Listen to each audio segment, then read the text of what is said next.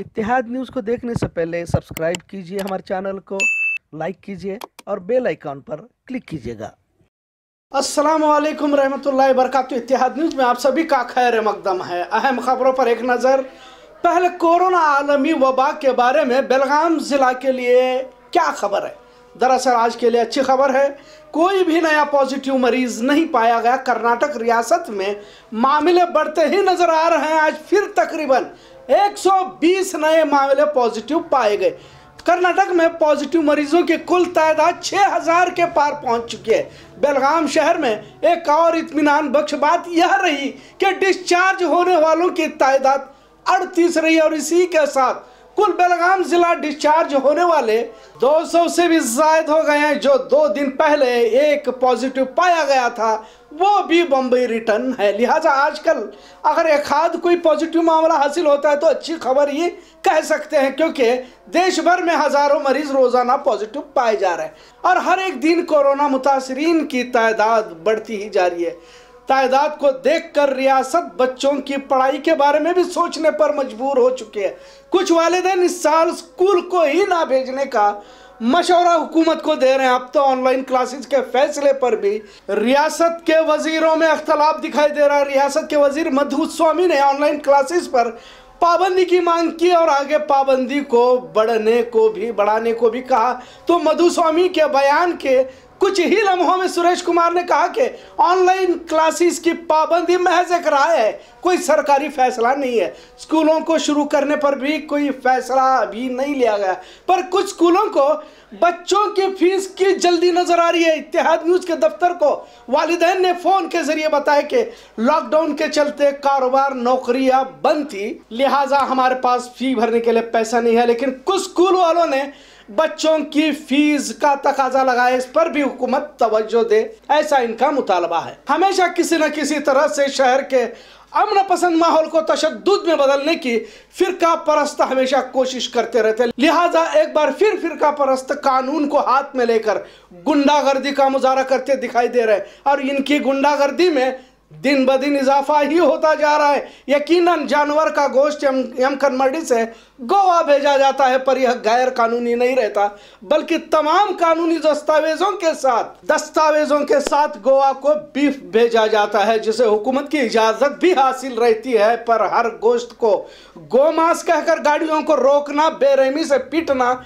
यहाँ तक कि गाड़ियाँ जलाना अब इनका काम बन गया एक बार फिर गोमांस के बहाने करले बेलवट्टी सड़क पर पाँच जून को समीर व्यापारी नामी शख्स की गाड़ी को रोका गया और गाड़ी को नज़र आतिश किया गया।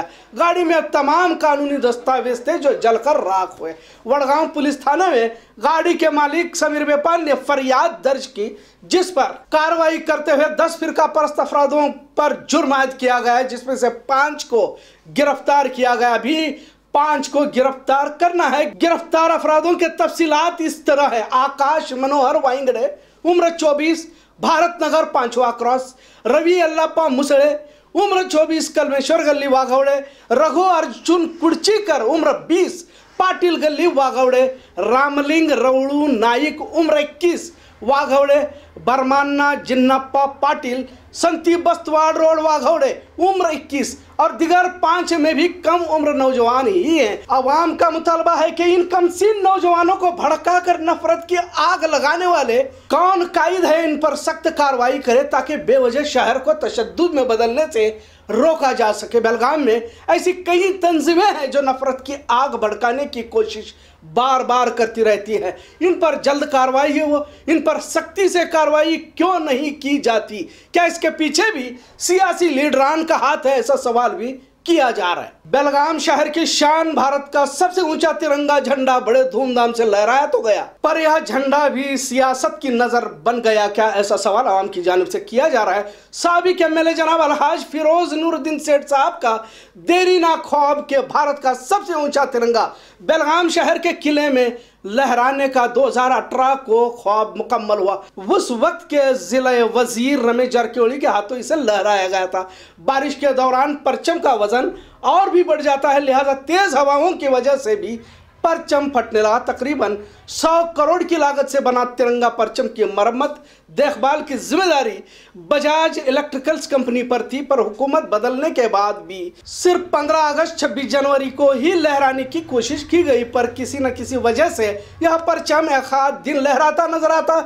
पर पिछले 26 जनवरी को मरम्मत की वजह से नहीं चढ़ाया गया लेकिन अब इसकी मरम्मत के लिए से हैदराबाद से मरम्मती वक्त की आमद हुई है। एक बार फिर तेज हवाओं के चलते काम को रोका गया, पर जुमेरात को इसे और जारी रखा गया। इस हफ़्ते मरम्मत मुकम्मल हो जाएगी और आने वाले यौम आज़ादी के दिन भारत का सबसे ऊँचा तिरंगा बेलगाम शहर के आसमान पर एक बार फिर लहराता देखा जा सकता यह भी इतला दी गई थी कि कई बार खंबे में जो बिगाड़ बार बार आ रहा है, इसे रिपेयर किया जाए, पर कोरोना की वजह से काम नहीं हो पाया। पर सवाल यह उठता है कि कोरोना तो अभी भी दो महीने पहले आया है, पिछले कई महीनों से इसकी रिपेयरिंग क्यों नहीं की गई? जब इसके मरम्मत की ज़िम्मेदारी बजाज इलेक्ट्रिकल्स को पहले ही दी गई थी तो काम वक्त से पहले क्यों नहीं हुआ? खैर, देर आए, दुरुस्त आए, एक बार फिर सबसे ऊँचा तिरंगा बेलगाम शहर के आसमान पर लहराता हुआ ज़रूर देखा जाएगा। इतिहाद न्यूज़ देखने के लिए शुक्रिया। अल्लाह हाफिज।